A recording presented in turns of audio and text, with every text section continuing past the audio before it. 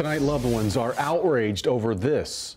Hundreds of personal items pulled off of local grave markers and thrown away. This is happening at Lakeland Memorial Park in Monroe. Our Savannah Levins joins us now with more. I'm told this was done as a part of grounds maintenance. A sign here at the park does say pretty clearly that the park reserves the right to remove any items or memorials. But families I spoke with tonight say this came as a shock. Items that have been sitting on grave markers for decades now sitting in this pile behind me, ready to be hauled off. Go out there, everything's gone. Kaylee Starnes was visiting the graves of her grandparents and sister when she noticed the items she'd placed on their headstones years ago were gone. It wasn't long before she found them. I go back there and there's just a tarp, just full of people's stuff. I cried because it was just it's just all these people's stuff, broken angels and homemade crosses and.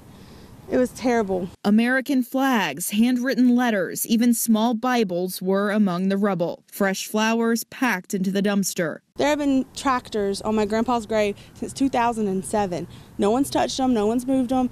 2007 and I found them out in that trash pile. Unfortunately, she couldn't find everything. None of my sister's stuff, couldn't find any of it. I don't have my sister here anymore. She's not here. I lost her when she was 18 years old. I don't get to celebrate anything with her. And the only place she's at is the graveyard. And I want to put stuff out there without being worried that it's going to go in the dumpster. Lakeland Memorial Park sent us a statement saying, we are committed to providing all families with a well maintained environment for visitation and remembrance. They could have let us know. We would have gladly came out there and cleaned it up.